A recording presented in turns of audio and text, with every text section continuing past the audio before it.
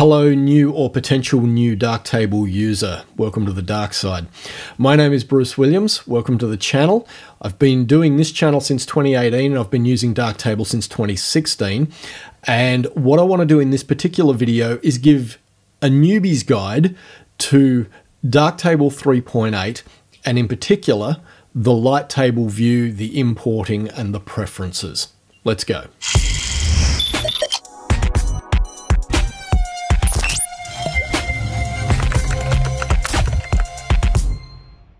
Hi, and welcome to episode 105 of Understanding Darktable. There's a high probability that you are coming to Darktable from Adobe Lightroom.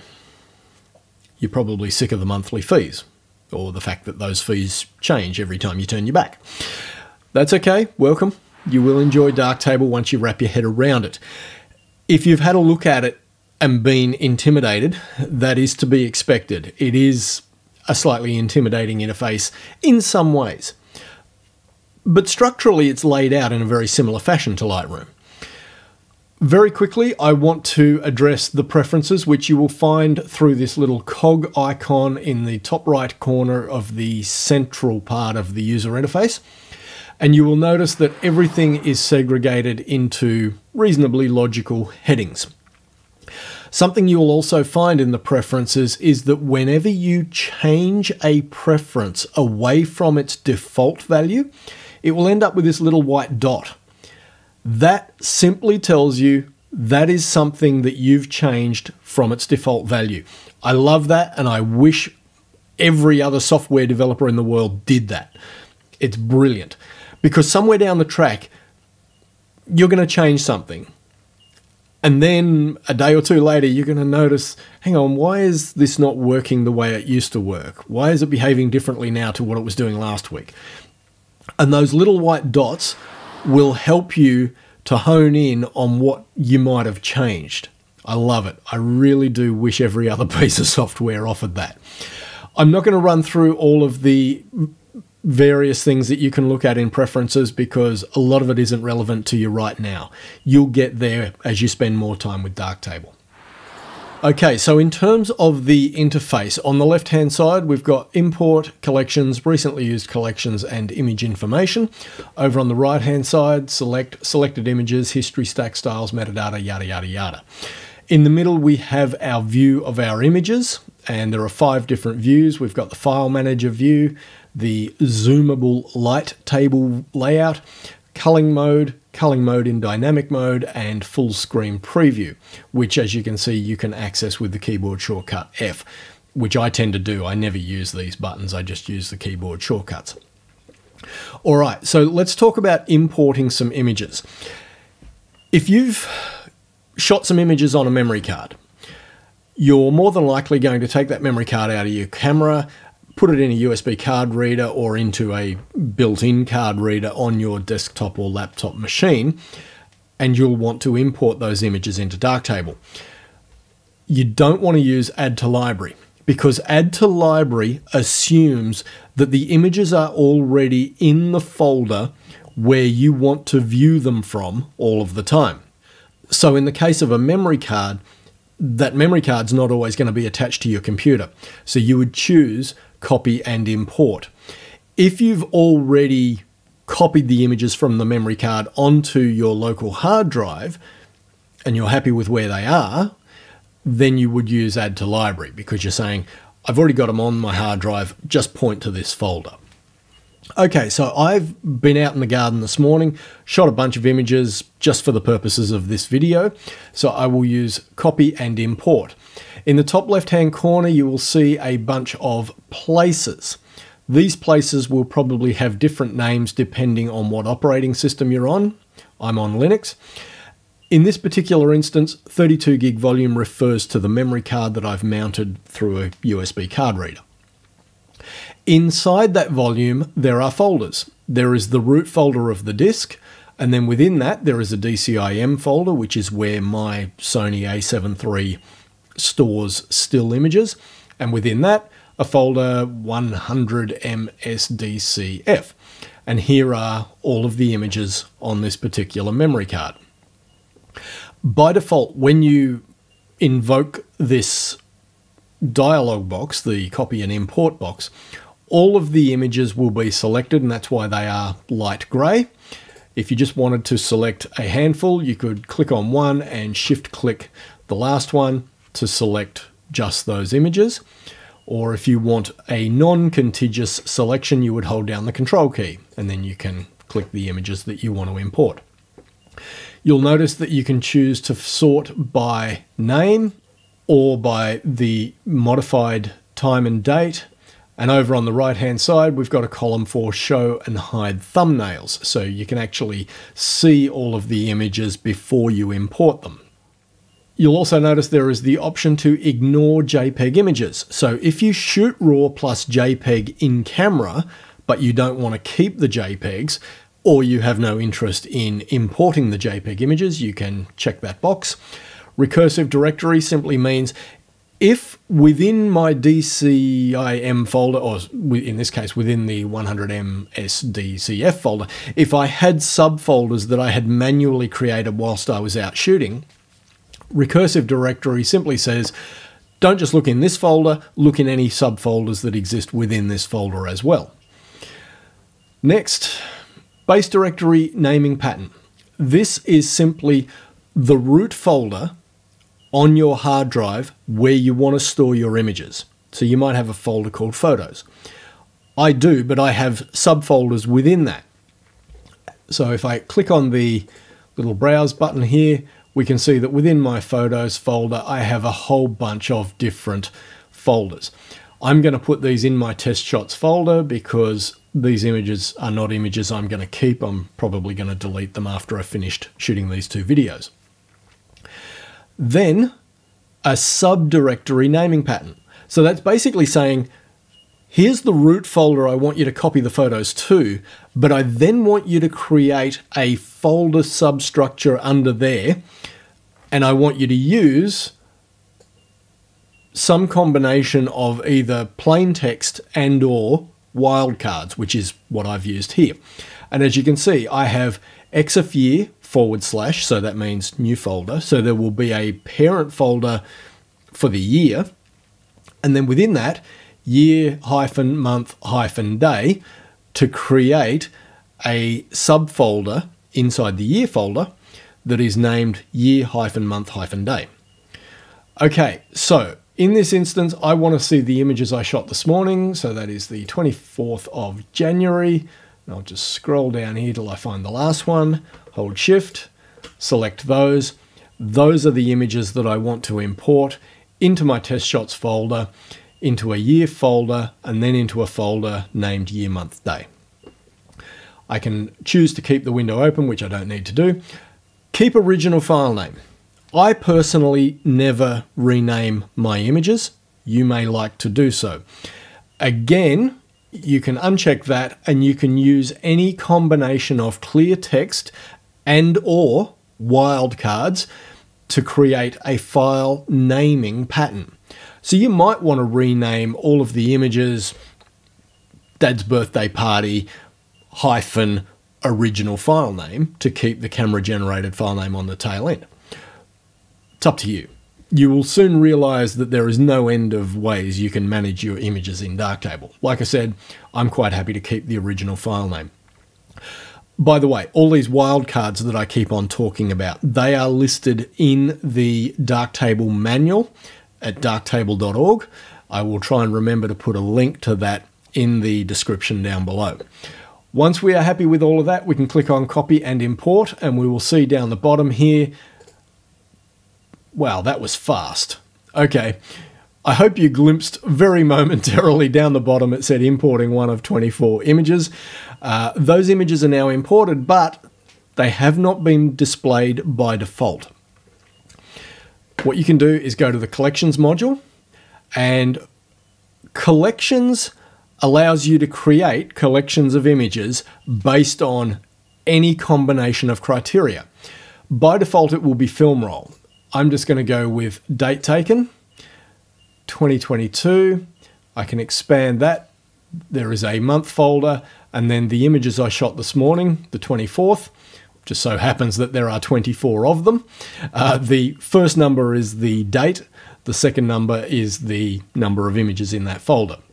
So if I go back four days to the 20th, I shot two images. Again, just mucking around. This is my test shots folder. So all of these images are just rubbish. Don't worry about them.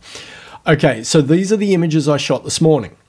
If I wanted to now sort through my images and decide which ones I'm going to work on, what I would do is click on the first one, press F to enter a full screen preview.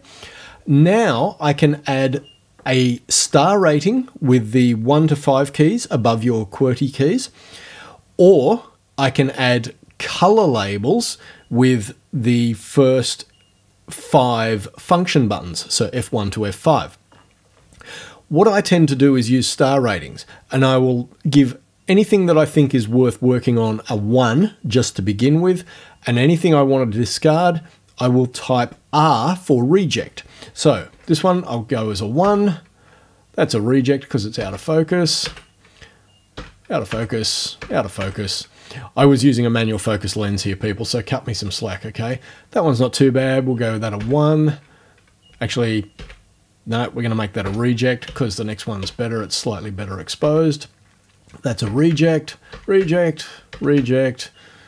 Yeah, yeah, reject that one and we'll keep that one. And a whole bunch of these are rejects. Yeah, reject, reject, reject, reject. Yeah, that one's okay. And reject, and reject, and yeah, we'll keep that, and yeah, we'll keep that. Okay, so that's the end of my images. I can press F to come back into my file manager view. And now we can see that the images that I rejected have all been dulled in the file manager view. If this was a big shoot, like let's say you've just shot a wedding and you got a couple of thousand images, what you could do to collect all of the rejects would be come up here to the sort by drop down and choose rating and all of the rejects will be clumped at the end of the collection of images. Now, if it is a really big shoot, that might not be viewable on the screen, so you could just hit the end key to jump to the end of your collection of images, or you could click this little arrow icon to reverse the sort order and now all of the rejects are at the top. I would select the first one, shift click on the last one, and then in the selected images module, you'll notice that there is remove and delete or trash. So remove will simply remove the images from the Darktable database. Delete or trash will actually remove them from your hard drive. I will click on delete. It says, are you absolutely sure? Yes, I am absolutely sure. So now there are six images that I've kept. And as we can see, that folder has now reflected that there are only six images in the folder. Let's just quickly jump over to my file manager and you can see that in the test shots folder, there is now a 2022 folder. And within that, there is a 2022 01 24 folder, which now has six images. Now, this is the first of the things that I want to draw to your attention. By default, or at least the last time I used Adobe Lightroom, which was admittedly six years ago, Lightroom did not, I'm, I'm talking about Adobe Lightroom here, did not store all of the information pertaining to the edits you've made on your images in XMP sidecar files, it actually wrote everything to an LR cat file, a catalog. What I very quickly came to realize with Lightroom was that's not a great way of working because if anything happens to that LR cat file, if it gets corrupted, you're toast. You've lost everything you ever did to every image you worked on in Lightroom. What I love about Darktable is that alongside every RAW file, and JPEG file for that matter, and TIFF file and PNG, whatever images you import into Darktable, you will end up with a file with a similar name with .xmp appended to it. Now, this is one of those things that new users to Darktable quite often get frustrated by. They go, oh, why are all these crap files all over my file system? Please, I'm begging you, you will get used to these and love them. Because if anything was to ever happen to Darktable, If it crashed, and I've got to say, I've very rarely seen Darktable crash in my experience, but if it does crash, all you are going to lose is the edits of the image you were working on at the time it crashed. Because all of the information is stored in the XMP file that relates to that particular image file. I think it's beautiful. And you can open these XMPs in a text file. I'm not going to do it, it's beside the point right now, but I just wanted to bring that to your attention. Get to love those XMP files because they will save your bacon. And get into a habit of backing them up because even if you wanted to move images to another computer and you wanted to put a clean install of Darktable on that computer, you could take the image files and the XMP files and put them on the new computer and fire up that new install of Darktable and go import and add to library, point to the folder where they live, and boom, not only do the images come in, but all the edits come with them because the edits are stored in the XMP files. It's awesome. I love it. So we are back to the six images that we decided to keep that we might work on. Over here on the right hand side, we have the select module. Here you can select all, select none. You might choose three files and you can go invert selection. So sometimes it might be easier to select the images you don't want and then invert the selection to actually get the images that you did want. So, you know, if this was 100 images, you might say, well, those are the two I don't want, but these are the 98 that I do want. Select the film roll. We won't go into that right now. Select untouched will simply select images that you have not yet edited in the darkroom view. Okay, selected images. This will allow you to, as we saw before, remove or delete. It'll allow you to move them. So if you want to move them to a new folder on your file system, do it from here. Don't do it in your file manager because if you do it in the systems file manager, like you know Windows Explorer or uh, Finder on the Mac, Darktable won't know that those files were moved, and you'll end up with some skulls in your light table view, which basically says, I'm supposed to know about these images, but I can't find them. You can also create physical copies, so actually copy the images to another folder. You can create an HDR if you've shot a bracketed set for HDR, and there's a whole bunch of other things here. You can rotate images, so if the orientation has not been read correctly, if they're displaying as horizontal but you know or landscape but you actually wanted them to be portrait you can rotate them here Copy locally, we're not going to cover. Resync local copy, we're not going to cover. I covered that uh, way back early in this video series. Group and ungroup. So if you want to create a group of images, you can select the images that you want to be grouped together and click on group. The history stack. This will allow you to do selective copying and pasting of things you've done in the darkroom view. So if you want to take some developed settings from one image and apply them to a bunch of other settings for a consistent look, you would do that via the history stack. You will notice that there is an append or overwrite mode. Be very careful with that. It defaults to append for a very good reason. If you are doing a selective copy of the history states from an image, then you don't want to go into overwrite mode because it will discard every other history state that existed in the destination image. So be very careful with that. I've covered that in greater detail in another video. Styles, once again, allows you to take selected history states from a developed image and save those history states as a style. Again, because you might want to use that look you know, somewhere down the track in other shoots, in other series of images, whatever. I have an Instagram frame, which basically creates a white one to one square with a black border around the image. So I can select this image and go apply, and that will apply that frame to my image. So now I can post that to Instagram and it'll have this white square with this black you know thin black border around the image and all of my images on Instagram have that look. That's just me. That's just what I like. If I wanted to get rid of that, I would have to go back into the darkroom view and remove that from the history. But we're getting ahead of ourselves. We want to stay in the light table for now. Darkrooms the next vi next video. All right, the metadata editor. That will allow you to apply some metadata to either one image or to a bunch of images as you see fit. The tagging module will allow you to add keywords to, again, one image or a series of images. You can use a hierarchical system for your keywords if you choose. I personally do and I love it. And you can choose a hierarchical view by clicking on this little icon in the bottom right hand corner of the tagging module. And as you can see, anything that has nested keywords will have this little arrow beside it. So you can see that uh, there are nested keywords underneath ARN. There is SBP 2011, and under that there is Trivia Night.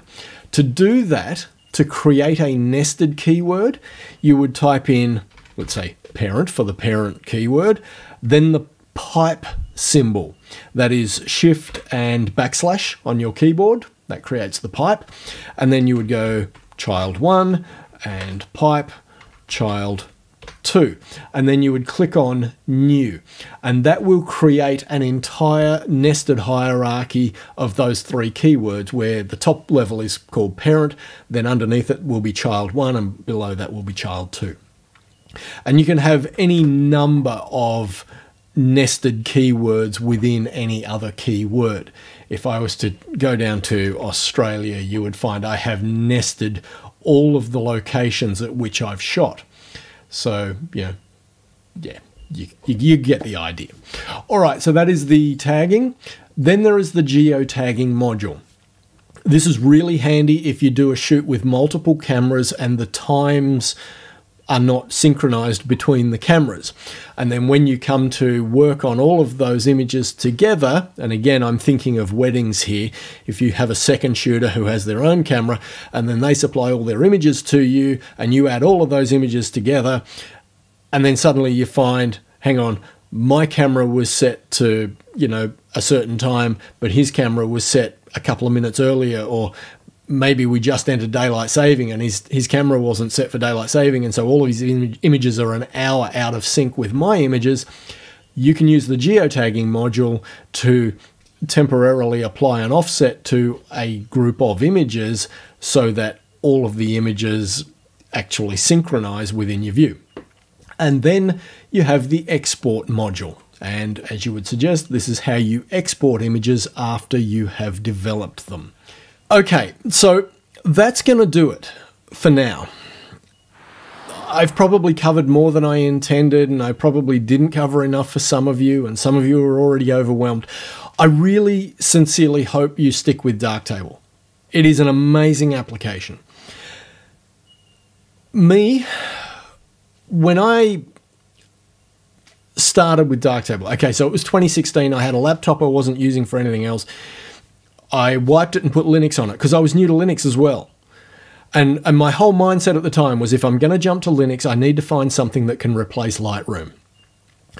And after a couple of false starts, I found Darktable.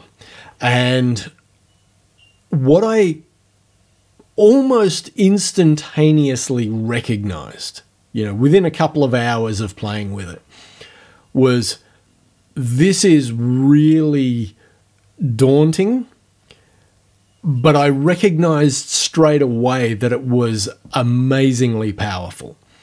And I thought, this is going to be worth the time and the brain cycles as an investment. You know, to get up to speed with this, I can tell it's going to be a really, you know, comparable piece of software to Lightroom. And what I came to realize further down the track was it's better than Lightroom. Now, you can call me biased, that's fine, I don't mind. Time will tell whether I'm selling snake oil or whether I'm telling you the truth. I, I genuinely believe in my heart that it is better than Lightroom. I really do feel that. So I hope you stick with it. Uh, by all means, go back and watch some of the older videos. Some of it is no longer relevant, depending on which version of Darktable you're running but a lot of it is still quite relevant. Uh, in the next video, we will dive into the darkroom and how you actually process your images. I hope I'll see you then. Until then, take care.